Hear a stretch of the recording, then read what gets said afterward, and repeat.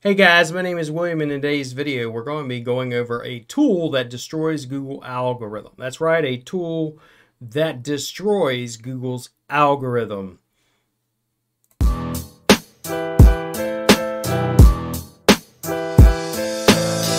It's easy to see when you look at me. All right, without further ado, let's go ahead and get started. Number one tool you need to be using in SEO. Take a guess. Your brain. Not a tool. Most people neglect it. They don't test things. They want to ask everybody, well, how can I do this and how can I do that? And not actually get in the trenches and test it. There are lots of people that are out there talking about SEO that aren't actually in the trenches doing it. Okay? So, number one, use your brain. Learn SEO, local e commerce, whatever you want to do and actually use your brain. Test, test, test. Number two, my favorite, Google Insights. One of my favorites, right? So Google Insights gives us a lot of really cool stuff that I really, really, really, really, really, really like. It's like, for instance, if we went here and we looked at this, everybody sees insights. Or, oh, it's cool. Over left hand side, you hit insights. But what this tells me, like right here, right? If I was to zone in on this, I would see, let's say, all these different areas where he's getting calls from, right? And the lighter areas, if you will, like Plano and he's wanting to get more calls from Plano, or let's say he's wanting to get more calls from Garland or Mesquite. What I would start doing is writing content, press releases, blog articles, my content on my GMB posts to be associated with those areas and then making landing pages associated with those specific areas. Maybe condos, maybe apartments, maybe hotels, maybe restaurants, etc., that are in that specific area. You may be like, well, William, how can I find, you know, what to do in Mesquite or Garland? Well, let's go over to our handy dandy little friend called Google. That's another one of my favorite tools. You know, go things to do Garland. And besides the fact that I already have a plugin that does this for me, best things to do in Garland. And Google literally tells you everything to do in Garland. And then associate all this information on that specific landing page for Garland. All right.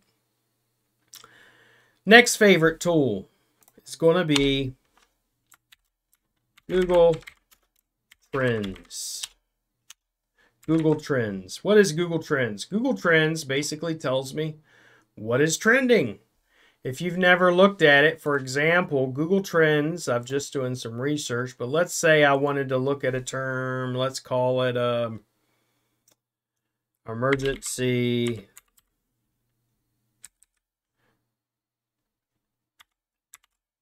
tree removal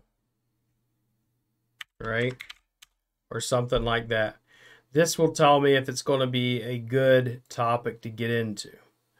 You know, is it trending down or is it trending up? Let's look at a roofer or roofing. And this will tell me, it will literally break down the keywords. It tells me the topics people are interested in, like this asphalt shingle. Okay, what cities? Where the top cities? What are cities that aren't even being touched right now? Right? Is this a good niche maybe to do a rank and rent in or rank for leads? You know, you get a GMB, get it ranking, get it producing leads, and then make money. Let's say Orlando, and it just shows me the information. So basically, Google Trends shows me exactly what I need to know. Home repair, oh, that's a great topic metal roof. Here's another one. And then it breaks it down into the different areas. So I know right off the bat what are the areas I could probably break into, right? What are the topics? Galvanization, leaking, cutting, nails, pergola. All the stuff that's giving me all the content, my areas, my locations, everything. So you could do your due diligence this way.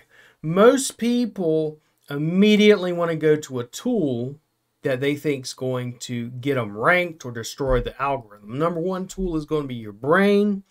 Number two is Google Insights, especially for local. And number three is Google Trends. I hope you liked the topic today. If you would like, I actually have a standard operating procedure on doing due diligence to help destroy Google's algorithm. Make sure to comment below in the comments and say, give me the standard operating procedure. Give me your spreadsheet, William, or something like that, and I will email it over to you and I will message you personally. Once again, my name's William, and in today's video, we went over how to destroy Google's algorithm. You guys be blessed, and I will see you again so many SEOs that hate me and say that I'm stealing their methods.